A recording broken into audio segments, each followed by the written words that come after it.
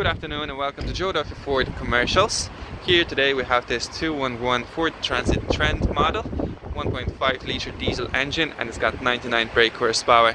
In front you'll see from the front fog lights, it's got this black around the front grille as well. If you move alongside the vehicle you'll see that there are 16 inch alloy wheels. You have a sliding door on the left hand side here which gives you access into the back of the van.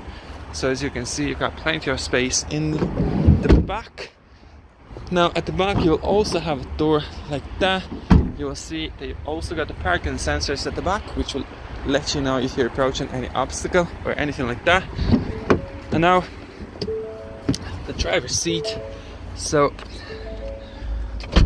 first things first, this car has only got 470 75 kilometers on the odometer, which you can tell that it's pretty much brand new. It's a six-speed manual gearbox with a manual handbrake. Uh, you have climate control with the air conditioner with the front heated windscreen. You can also drive it in the eco mode if you want to. Radio and meter controls just up here, and that's your um, multifunction steering wheel equipped with your cruise control. You've got your limiter up here, voice command controls up here electric windows you can adjust the side mirrors up here and there's a central lock just up there as well with the auto lights. And now the last thing just gonna give you another little look from the outside.